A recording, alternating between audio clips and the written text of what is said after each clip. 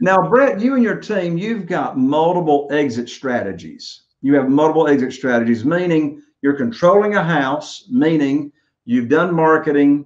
Uh, you and the team have found a house. Now you got it under contract to purchase. Multiple exit strategies. You could do what we call stay in the deal. You could actually do what we call take it down. In other words, you actually close on your own contract that you've got under the purchase so you can stay in the deal. Or, as you said, in wholesaling, you can assign that contract to another real estate investor and you're going to collect an assignment fee. You're going to sell that contract. Now they're going to take it down. Uh, you can, or you can stay in the deal two different ways. You can stay in it on wholetailing, where you just clean it up, as you said, sell it to an end user, or you do a major rehab. What's your criteria on deciding what is your exit strategy from those choices? Yeah, yeah. Uh, I think it's just whatever season uh, that you're in. Like I said, I like the quick nickel. So our first strategy is if we get a house under contract and we can assign the property, we'll we won't market it, but we'll send it out to some buyers. Like we know our buyers pretty well, so we'll send it out to a few of them that think that would be interested.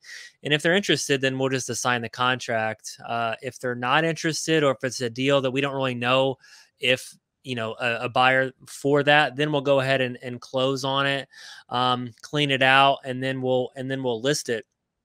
Um, we don't do a lot of major rehabs right now uh, just because just the season that we're in and the market that we're in it's it's almost like we don't really have to do that just because there's buyers out there the inventory is really low so we feel like we can make maybe not as much money uh, but we can make close to as much money as if we just cleaned it up and sold it to an investor and we didn't have to spend that four to six months and the headaches and the stress of fixing up that property.